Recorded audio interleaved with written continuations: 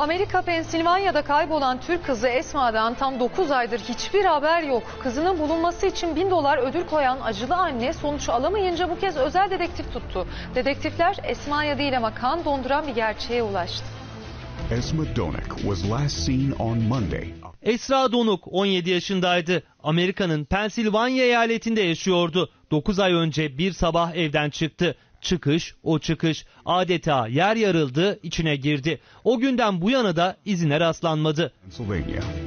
If you've seen Esma or have any 17 yaşındaki Esma 40 yıldır Amerika'da yaşayan Adanalı Semra ve Mustafa Donuk çiftinin 5 çocuğundan biriydi.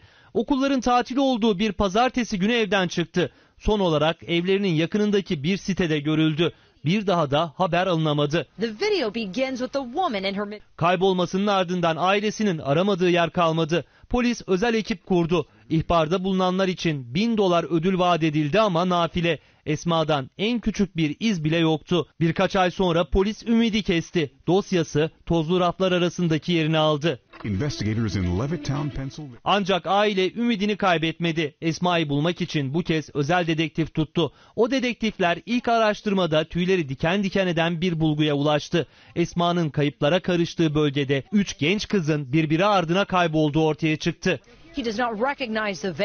Kayıp genç kızlardan birisi sağ salim evine geri döndü. İkisinin ise cansız bedeni bulundu. Ancak ailesi Esma'nın bulunacağından ümitli. Kimseyle hiçbir sorun yaşamadığı belirtilen genç kızın yanındaki kartları kullanılmadı. Ancak aile yine de iptal ettirdi. Bugüne kadar da fidye talebi gelmedi.